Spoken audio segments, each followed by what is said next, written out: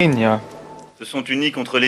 جميعهم اجتمعوا ضد العدو النازي من أجل تحرير الوطن. جميعهم تحلوا بشجاعة لا مثيل لها. ولكنهم دفعوا ثمنا غاليا من أجل الانتصار.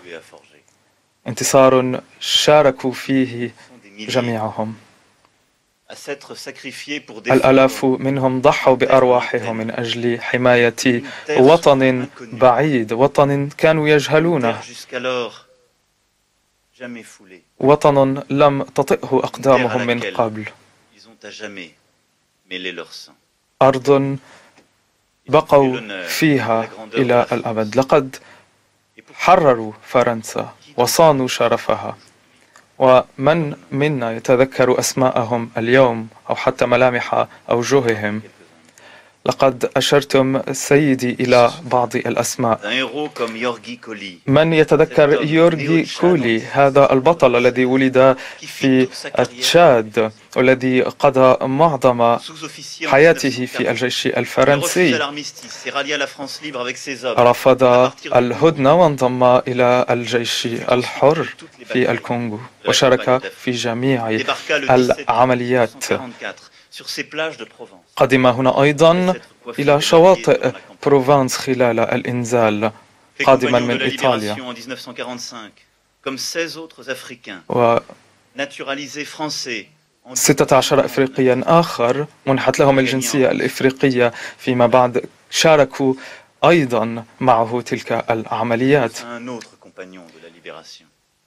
شجاع آخر السيد محمد بالحاج Algérie. الذي ولد في الجزائر في عام 1905 وفي شهر يونيو من عام de 44 commandant de compagnie. خاطر بنفسه وأنقذ صديق ورفيق دربه frère d'armes.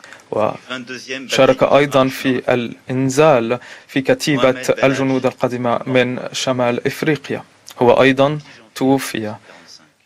تضحية لفرنسا خلال عملية ألزاس. الأطباء الذين كانوا يحاولون تضميد جراحه آه، قال لهم سأموت ولكن ذلك أمر هين لتحيا فرنسا.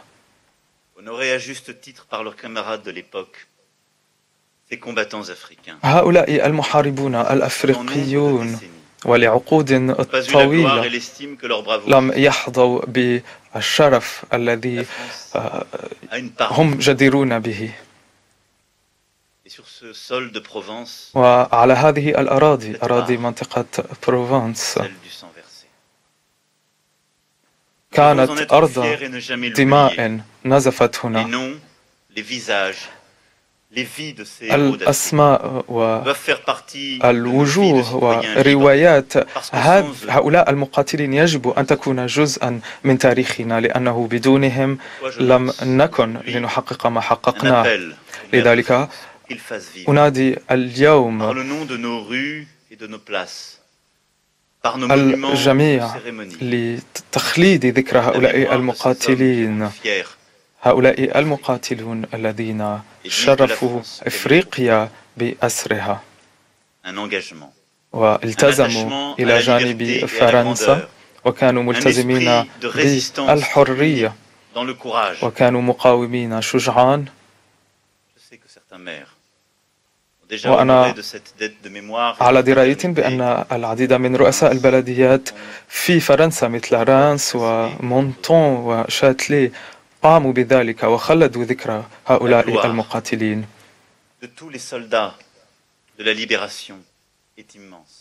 إن gratitude به هو لأمر.